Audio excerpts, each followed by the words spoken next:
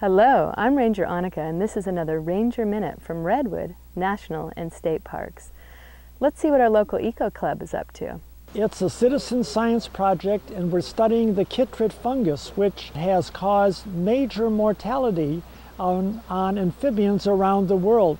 The chytrid fungus is a fungus, well, obviously it's a fungus, but anyway, uh, it prevent it prevents frogs from breathing because it attaches itself onto their skin. And once it's attached, it multiplies. So that's bad.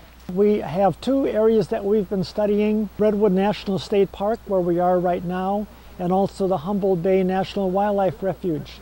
And we've sampled amphibians in each of them, and they both have about a 15% prevalence. That is about one out of every six or one out of every seven animals that we sampled has the chytrid fungus.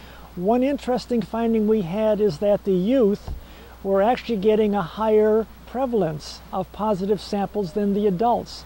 It could be that the youth are just being more careful or thorough, but it also could be, as one researcher pointed out, that maybe the youth are looking at different areas and are sampling different areas than, than scientists traditionally do. Today we were swabbing the amphibians. You see if they have the chytrid fungus, and that's how you measure in an area how much of the chytrid fungus there is. So we weigh them, we measure them. This gives us a chance to determine if the infection is a function of, of the size of the animals, older animals, those that are longer, those that weigh more.